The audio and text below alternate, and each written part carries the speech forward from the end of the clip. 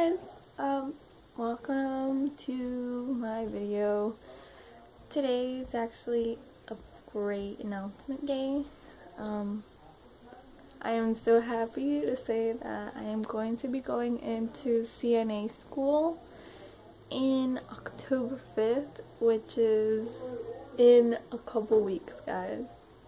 I'm very excited to get that opportunity to become a certified nursing assistant like I said in my earlier videos, um, I need to take things in a slower pace going into nursing because um, I just need to do that for myself.